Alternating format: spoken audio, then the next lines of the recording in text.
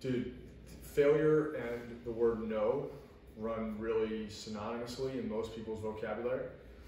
And, you know, I, I've got a, a lot of people I've coached, right? Like executive coaching, alignment coaching, financial coaching, like just so many different things. And in each of those lanes, they often overlap a lot.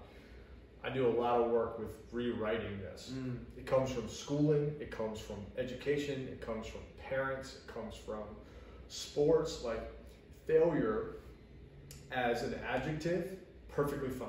Mm. That was a failure. Mm. That move was a failure. That attempt was a failure. But as a way to describe a human being, Right. doesn't work. Right? It breaks someone and their identity.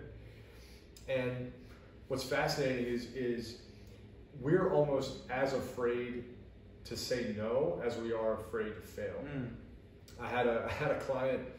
Um, I had her go out and ask ridiculous questions, like ridiculous. Like her job, this her homework this week was to ask ridiculous questions.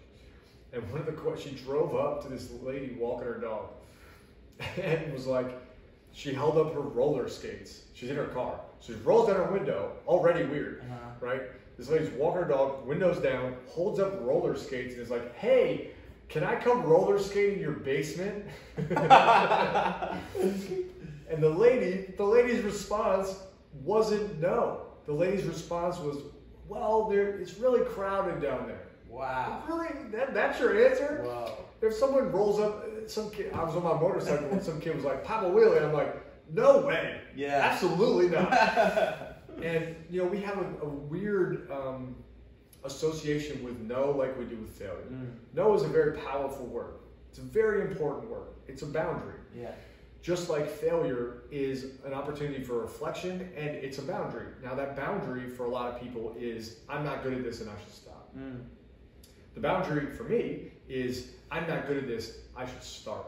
Mm. Um, people find this fascinating. The first time I, I really got on a motorcycle, I crashed. It was like five years after I got my license, I crashed. My like, arm was skinned up, my hip was busted, the bike was busted. I was in Prague, in a foreign country, crashed a motorcycle, right? Not a bad crash, like everything was fine, but you know, scraped up the bike, scraped up me. And I came back from that, I was like, I'm buying a motorcycle. People were like, what? What? You just crashed. What do you do? What? I think you should stop. You're obviously not good at it.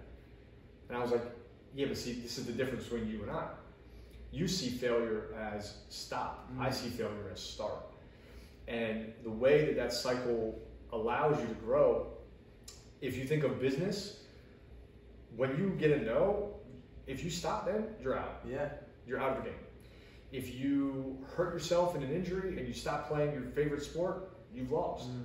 right? If you hear a no when you go to make sales and now you think you're a bad salesman, so you quit your job, now you're a quitter. And we have such a powerful identity in failure and no that needs to be adjusted. Mm. And it takes a lot of time. I, I work with clients a lot to adjust this. Like, you want to be an entrepreneur? You are going to have to get comfortable with the word no, and you're going to have to get comfortable with failure daily Mm. if not hourly, if not is minutely a word? minutely, minutely. It- you you have to, and those are the, the areas, those are the, the the periods of your life where you'll grow the most. It, those are seeds. Failure is a seed. Yeah.